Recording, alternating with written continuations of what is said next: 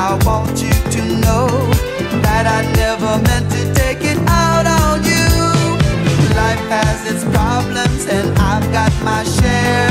That's one thing I never meant